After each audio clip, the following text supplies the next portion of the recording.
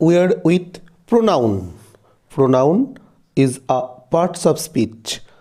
It always stands instead of noun. নাউনের পরিবর্তে যে ওয়ার্ড ব্যবহার করি, তাকে বলা হয় প্রোনাউন প্রোনাউনের অনেক ভাগ আছে প্রোনাউনের প্রথম ভাগই হচ্ছে পার্সোনাল প্রোনাউন দ্বিতীয় ভাগ রিফ্লেকটিভ প্রোনাউন তৃতীয় ভাগ ইন্টারোগেটিভ প্রোনাউন চার নম্বর ডেমনস্ট্রেটিভ প্রোনাউন পাঁচ নম্বর রিলেটিভ প্রোনাউন ছ নম্বর ডিস্ট্রিবিউটিভ প্রোনাউন সাত নম্বর ইনডেফিনিট প্রোনাউন আট নম্বর রিসেপশনাল প্রোনাউন ন নম্বর এমফ্যাটিক প্রোনাউন কিন্তু এত ভাগ মনে রাখার দরকার নেই।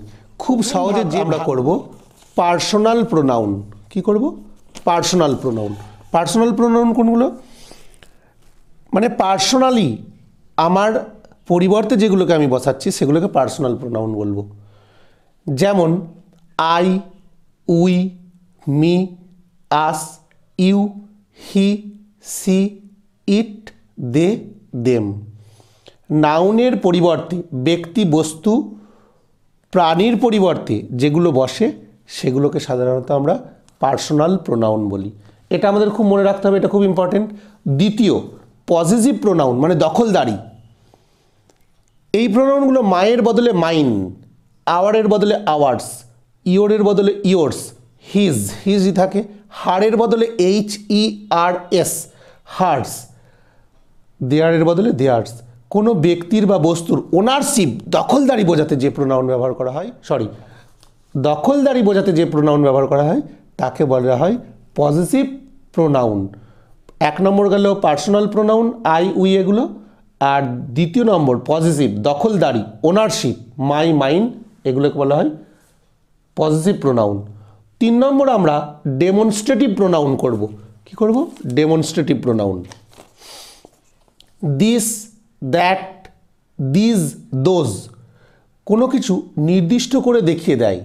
দেখিয়ে বা চিনিয়ে দেওয়া ডেমনস্ট্রেট করা, এগুলোকে বলা হয় ডেমনস্ট্রেটিভ প্রোনাউন চার নম্বর pronoun indefinite pronoun any one anybody someone someday some higher every higher anything few অনির্দিষ্ট অনেক কিছু বোঝাতে।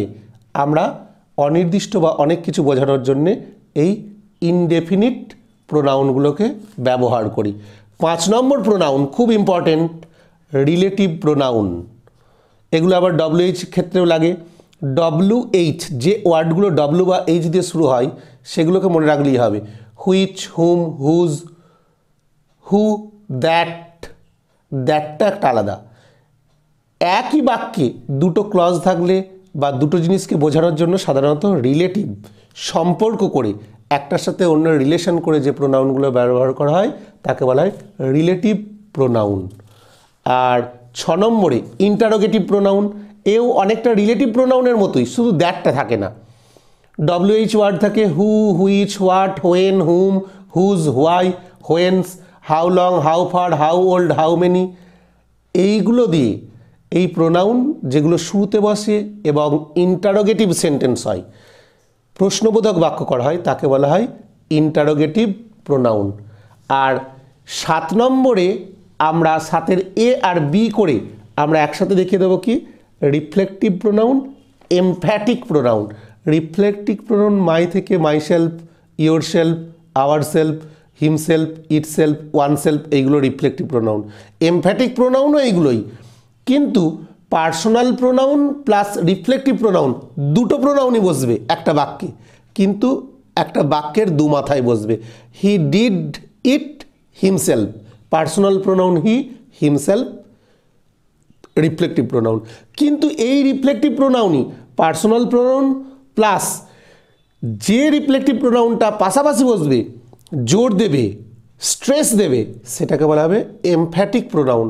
এগুলো মাই থেকে myself ourself yourself yourself himself herself itself oneself themselves এইগুলো হচ্ছে এমফ্যাটিক প্রোনাউন যখন পাশাপাশি বসবে।